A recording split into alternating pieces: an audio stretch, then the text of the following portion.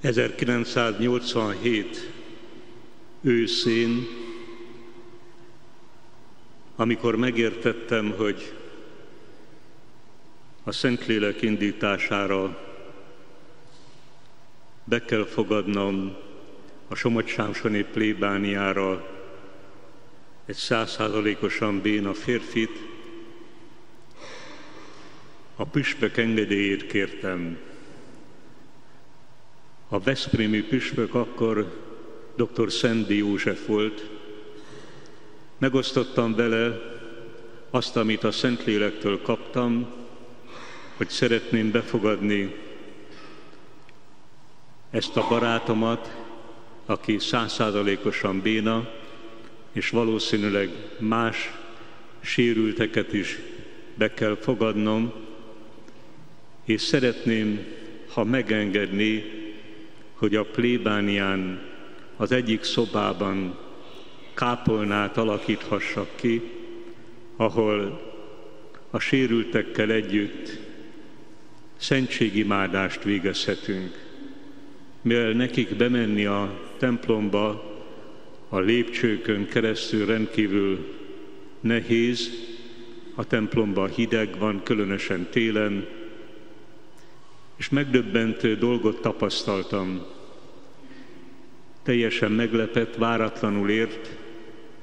A püspök fölkelt a székéből, odajött hozzám, és átölelt. És a következőt mondta, az eukarisztia és a szegények együtt az egyház jövője rendkívüli nagy bátorítást adott nekem ezzel a mondatával a püspök, és azóta is fontos számomra mind a kettő, a szentség imádása, az Úr Jézus Krisztus jelenléte, és az ő imádása az Eukarisztiában, és az Úr Jézus Krisztus szeretete a szegény, megtört, megsebzett, szenvedő emberekben. Az életemben ezt a kettőt a Szentlélek összekapcsolta. A szentség imádása azt jelenti számomra, hogy szeretettel szemlélem a titkot. Szeretettel, hiszen annyira szeretett mindegyikünket a mennyei Atya, hogy az Eukarisztiában jelen valóvá tette magát, beletestesült az Úr Jézus Krisztus által a Szent Háromság ebbe a kis kenyérbe és borba,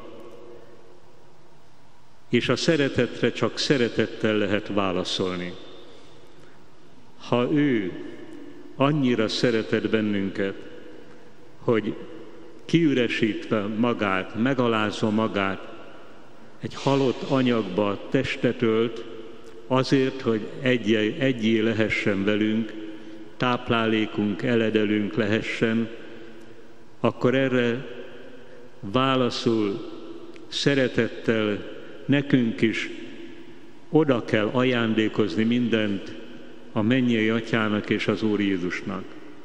Hiszen ebben a szentségben Isten teljesen elajándékozza magát mindegyikünknek.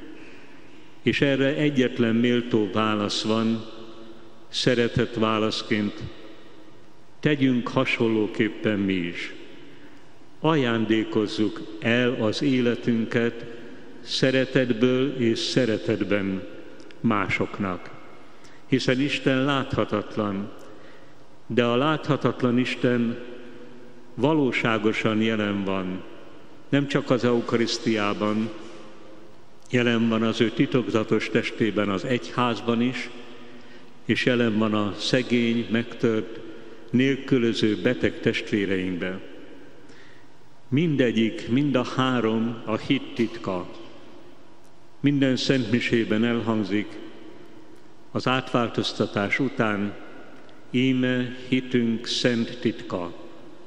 Nem tapasztaljuk, nem érezzük, hanem hisszük, hogy ebben a kenyérben maga az Isten van jelen.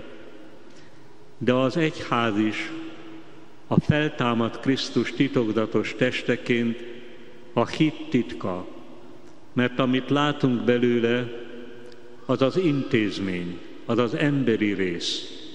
De van egy másik része is, ami a hit titka, akármilyennek néz ki az egyház, akármilyen sebzett és bűnös, számunkra a feltámadt Krisztus titokzatos teste. És ha szeretjük Jézust az oltári szentségben, akkor szeretnünk kell Jézust az egyházban. Különben nem hiteles a szentség imádásunk. Ha csak arról szól, hogy Jézus és én nagyon jól érzem magamat, és imádom, és dicsőítem, és betölti a szívemet örömmel az ő imádása, ez kevés. Szeretnem kell a láthatatlan Istent a látható testében, az egyházban. És Jézus annyira szereti az egyházat, a katolikus egyházat, hogy ma is odaadja magát érte. Minden tagját szereti. Azt is, azokat is, akiket mi nem akarunk, vagy nem tudunk szeretni. De Jézus, az oltári szentségben jelenlő, jelenlévő Jézus, ha szeretettel szemléljük őt, megadja azt az ajándékot, hogy szeretni fogjuk az egyházban, az ő titokzatos testében jelenlévő Krisztust is.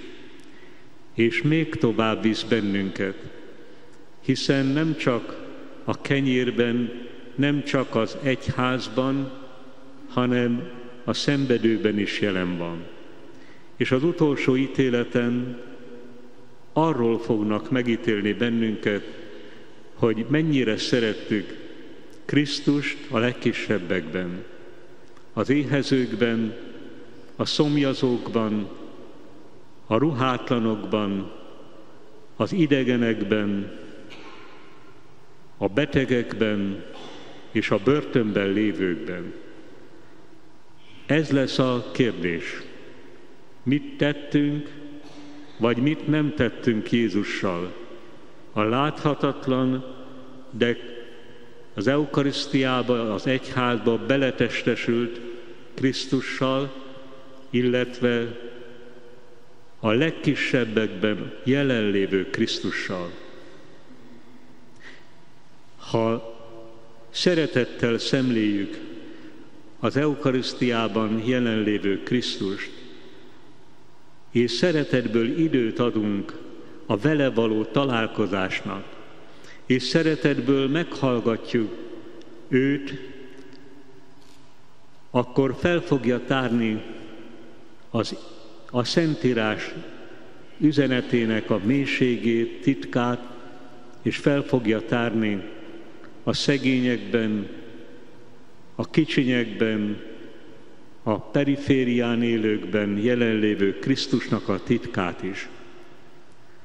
Adjunk hálát ezért a drága ajándékért, Isten alázatának és szeretetének a szentségéért, az eukarisztiáért, és adjunk időt a találkozásra, a vele való csendes együttlétre, és engedjük meg, hogy átformálja a szívünket, hogy szenvedélyes szeretettel szeressük az egyházat, az ő titokzatos testét, és szenvedélyes szeretettel szolgáljuk Krisztust a szegényben, a megtörben és a sebzett emberben.